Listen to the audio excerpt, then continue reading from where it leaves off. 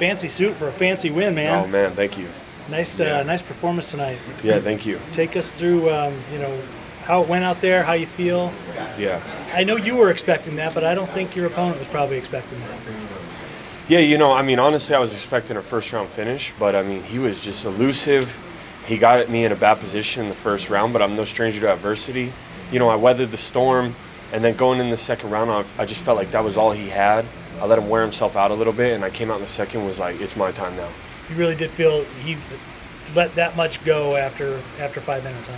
Yeah, I mean, I felt like he just gave me his best, and I was like, okay, that's all you got, so let's do this. I, and I just realized, like, you know, he was on my back basically the whole round, and and even in the second, he was holding on to me a lot, and you know, I just had to turn up the volume a little bit, let him wear himself out, and just pick up the speed on him, and and uh, you know, I got the victory. This is such a big moment for you, co-main event. Yeah. Uh, talk us through about you know what you were feeling heading into tonight and Yeah. where that confidence level was going into when you when you walked out to the cage, I guess. Yeah, you know, I mean, I just was having fun. You know, this is so fun for me. I've I've been in situations where you're in fights and there's no one there to stop it, and it's not it's not fair. And uh, so just uh, getting to do something that I love, the UFC taking such good care of me, me redeeming my life, and God just saving me, and just giving this message of hope for the people. That uh, that's the message I want to give. So I just was having fun, and it's all surreal that this is coming to place. But I've been visualizing this for a long time.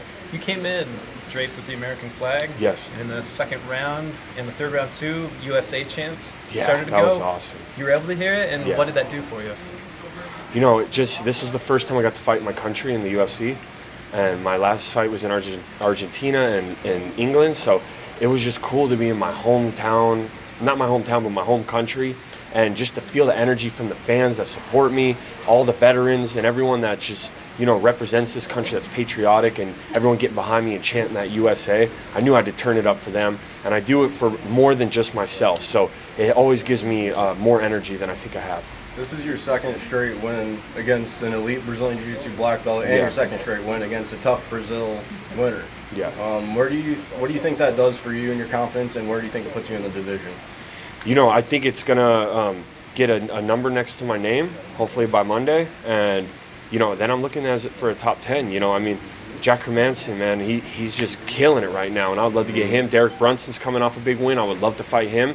So either one of those guys come to mind, but anyone in the top ten will do. And you know, I, I want someone too that we can we can really get in a firefight, something really special for the fans, because it kind of is me fighting off these uh, these you know jiu-jitsu guys, and you know, obviously it's not the most exciting fight, but I'm doing what I got to do to win. You said something uh, post fight about Brunson that you weren't that impressed by him. I mean, what about him uh, makes you feel that way? I, I just, I, I just, uh, I feel I can beat him, you know, and I'm, I'm believing it. And once I believe it, you know, it seems to come true. So I'm believing that right now. And uh, just watching his last fight didn't really impress me that much, and I would like to fight him. So yeah, When you were on the, in the Canary Islands or on Yeah. the Canary Islands, Yeah. you envisioned yourself being here. hmm What did you picture, and what is it actually like? yeah. So I mean, even when I was in prison, I was like, you know, I'm gonna get out of here, and I'm gonna become a world champion in the UFC. And I envisioned this, you know, and just now that it's coming true, it's so surreal and, and awesome. I'm just having a great time. Like if you would see me in the back, I'm dancing, I'm smiling, I'm enjoying myself. I'm not trying to get all that nervous energy and all that hype because this is something I enjoy, something I love. And if I'm having fun, winning's fun. So when you have fun, you win. You talk about God too. How does Yes. spirituality and fighting relate to each other? And then, if it does, which I assume it does for Sure. you, Oh yeah. what does it do for you in a situation like tonight? Yeah, God just gives me peace that passes all understanding. You know, He's He's redeemed my life. He saved me. This is a platform for me to spread His word, His kingdom, and just show that you can be in a prison cell in a foreign country, come out and, and make your way to the top of the of one of a very hard weight class in the UFC at the highest level. So I just want uh, people to see that, and I just believe before I go out, God's will will be done. So why am I nervous? I'm just wasting energy. Go out there, perform, let His will be done, and let it all go.